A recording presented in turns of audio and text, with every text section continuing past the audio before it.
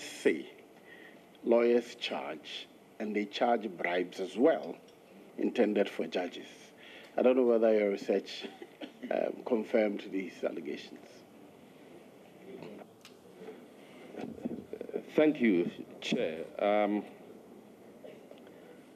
we have heard about it that uh, some few lawyers charge clients and they also tell the clients to bring some monies that they will give to the judge. We've just heard about it, but we are yet to identify any of the culprits at the bar.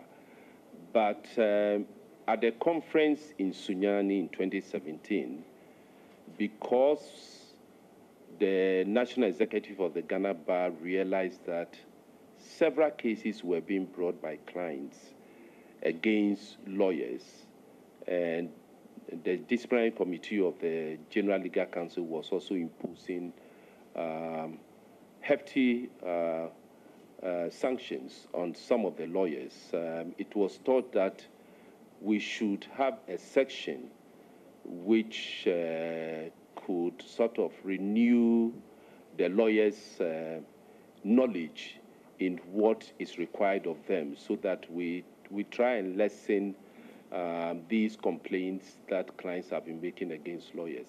So um, Justice um, Anin Yeboah and myself were asked to come and deliver a paper on, on ethics. So we, we, we did exactly what uh, we thought uh, we could do. But we are still monitoring members of the profession. Uh, we haven't left uh, the profession for people to do their own thing.